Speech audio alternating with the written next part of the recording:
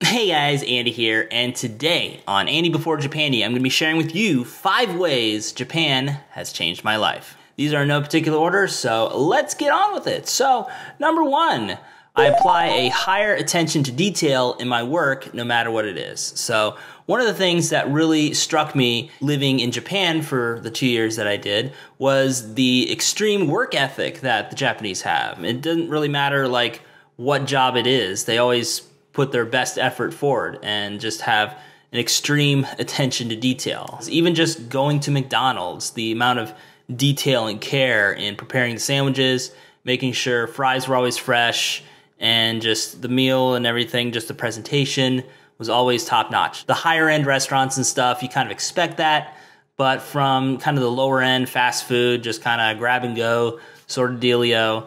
Um, that rhymed.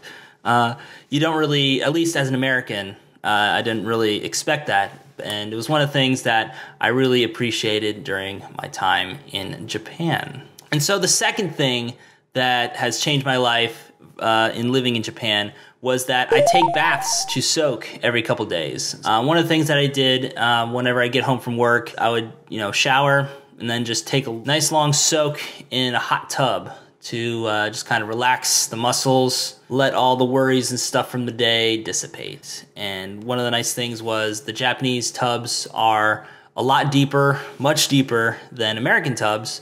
So I could actually like pretty much fit my whole body. I mean, I'd have to like kind of have my legs up a little bit, but I could like fit up to my neck as far as water goes. So I could just like really kick back and like take it easy after a long day. And then, you know, after I towel off and stuff, got a nice cold Chuhai waiting for me in the fridge.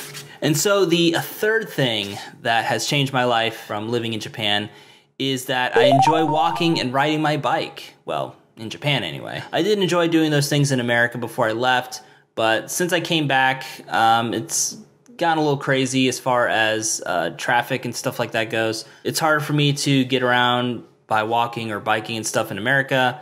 But in Japan, it's like super easy. I really enjoyed just biking across Japan, going to different places, whether it's just down the street to Konbini to pick up some stuff, or even biking all the way down to Jogashima, which is at the uh, tip of the Miura Peninsula in Kanagawa. So that was a fun trip. And so the fourth thing that has impacted my life since living in Japan is that I drink unsweetened tea. It wasn't really anything that I did before I arrived in Japan. Um, in fact, I remember when I was stationed in San Diego, I picked up a uh, thing of unsweetened tea out in the uh, the import market, which is very common in Japan. I remember when I first had it, it was like super bitter, and I'm just like, ah, this is disgusting. I can't handle this. And when I got out to Japan, I you know, became more accustomed to that taste palette and it just became easier for me to drink. And you know, tea is like everywhere. You can get it at the, at the uh, convenies. You can get it at the vending machines.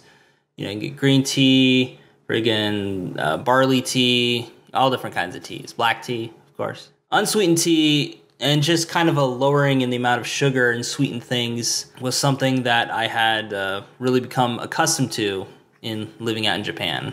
And so, the fifth and final thing that has really impacted my life from my time living in Japan is that I have a much greater appreciation for nature. I would walk around and stuff before I left, but I really didn't take in just the aesthetic of nature, whether it's just walking around in like the forest or maybe just walking around by the uh, by the ocean near where I lived in Yokosuka. Just going to a park, like that was huge for me. You know, like the parks in Japan are just so nice. They're a great place to just kind of relax, unwind at the end of the day, or you know, if you wake up early, go for a nice run. Uh, that's something I got to do to lose some damn weight. But uh, you know that's for a video for another time. So yeah, guys, that is five ways that Japan has changed my life. And with that said, this is the Andy-san. Sign off for now. And as always, we'll see you next time. Catch you later, guys. Bye.